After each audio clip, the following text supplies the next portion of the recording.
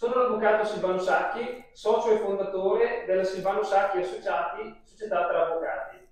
Oggi vi presento l'avvocato Paolo Cominetti, il nostro esperto di diritto del lavoro, che ci parlerà dell'importanza dell'individuare personale qualificato e di come le norme e le leggi possono aiutare le imprese in questa attività fondamentale. Buongiorno a tutti, sono l'avvocato Paolo Cominetti e oggi vi parlerò ovviamente di come la legge permette di trovare personale qualificato e quindi di fidelizzare il personale ricercato.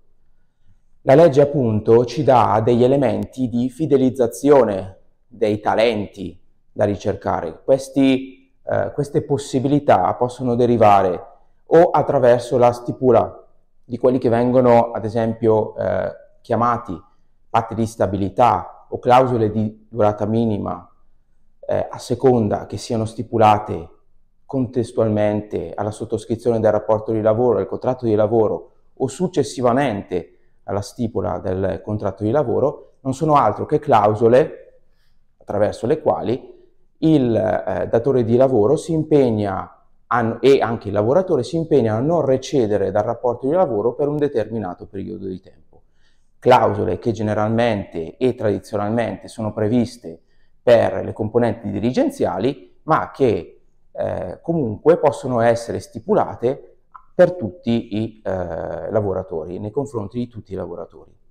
Altri elementi che la legge ci dà, altre eh, possibilità che la legge ci dà, è quello di eh, concedere i cosiddetti fringe benefit o beni in natura o i cosiddetti flexible benefit. Altro strumento che la legge ci mette a disposizione per attirare i talenti e eh, in generale, quindi tutti i eh, lavoratori, è lo smart working. È uno strumento, o lavoro agile, uno strumento che noi abbiamo conosciuto, eh, imparato a conoscere, ahimè, durante eh, la pandemia, ma in realtà è disciplinato dalla legge 81 del 2017 e non è altro che una modalità di svolgimento del lavoro senza particolari vincoli di orario e di luogo di lavoro e con l'utilizzo di strumenti tecnologici. È, non è da confondere con il telelavoro proprio perché per, per, le sue particolarità e peculiarità può essere svolto in qualunque luogo, in parte all'interno, in parte all'esterno dei locali eh, aziendali.